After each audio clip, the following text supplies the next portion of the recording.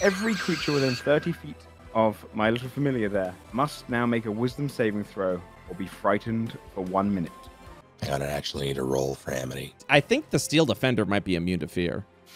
Uh no. Whoa. No, it is not. No, it is not. Oh, no. That Very silly. up some really but- sad philosophical questions. Damn it, why'd I program fear?